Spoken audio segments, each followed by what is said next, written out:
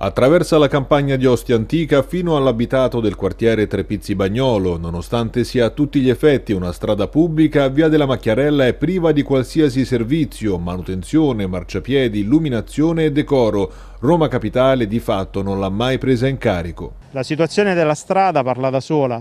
Le cunette che si sono eh, sviluppate negli anni perché non c'è stata manutenzione sono talmente alte che non consentono il deflusso dell'acqua. La strada non è illuminata, non è illuminata, non abbiamo eh, il servizio di autobus.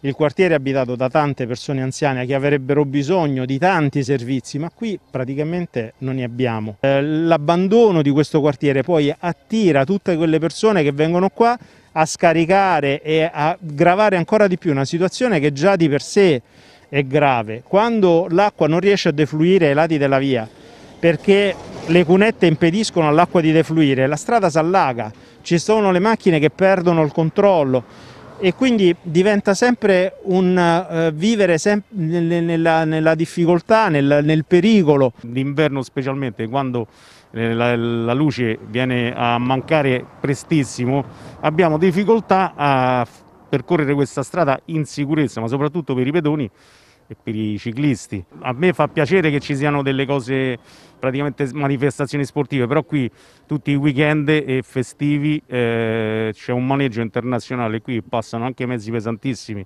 e la viabilità, la gareggiata è quella che è. Senza luci, senza niente, corrono come matti, la mondezza, c'erano questi canali pieni di mondezza, non sa quanto torto abbiamo fatto le cose all'AMA per dire per raccogliere questa mondezza, perché poi più, più la buttano e più ci buttano l'altra. Beh, noi non ci avevamo mani, ancora aspettavamo che la Depilla ci, ci riceve.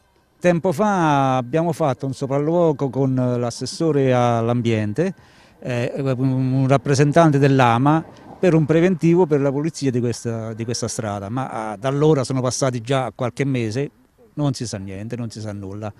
Tant'è vero che qui la monnezza aumenta giorno per giorno e servirebbero delle videocamere per cercare almeno di arginare questo fenomeno. Io qua non dico sempre, ma quasi tutte le domeniche mattina o domenica pomeriggio vado, esco da casa con la carriola, riempio i sacchi poi poi metterlo lì davanti casa per, eh, per l'indifferenziata della raccolta del lunedì mattina. Il decimo municipio è stato sollecitato in diverse circostanze, ma ancora non è chiaro quali azioni intende intraprendere per rispondere alle questioni mosse dagli abitanti della zona. Per gli attuali amministratori il tempo sta per scadere, dunque quella di Via della Macchiarella rischia di essere l'ennesima occasione persa.